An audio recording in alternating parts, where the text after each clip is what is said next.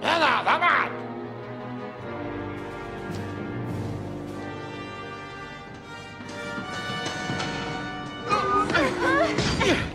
You monsters! You won't get away with this! Silence, Earthlings! You should not have interfered. You can give up the hokey alien charade now, Steve. So, you figured it out, huh? Wasn't hard. Well, it doesn't matter now. Why would scientists like you do this? Are you kidding?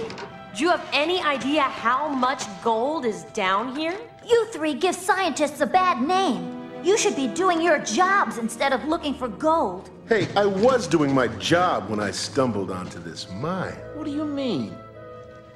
Well, you see, one day I was looking for a site to place a fourth south dish at the east end of Scorpion Ridge when I stumbled onto an opening to a small cave. Ah!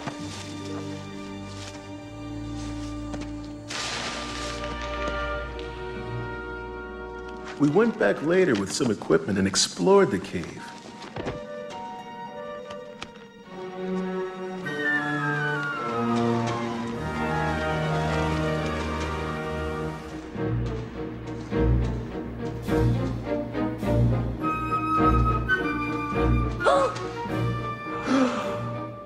Sure you can guess what we found.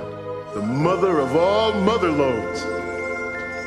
And best of all, no one knew about it but the three of us. But I still don't see how you could have dug all this out. Ha! We didn't. This was a mine in the 1800s. It was abandoned when the miners thought it was all played out. if they'd have dug 10 more feet, they would have discovered all this gold. Well, their loss is our gain. We found that these caverns run from Scorpion Ridge to right under the South Station. but since all this property belongs to the government, We decided to mine it for ourselves and not report it. We hired two friends to help us fence off the area as government property. The fake MPs? Exactly. They guard the area while we mine the caves in shifts. And you keep your easy jobs at the South Station. Ooh, you're pretty smart, Velma. Too bad you've made your last deduction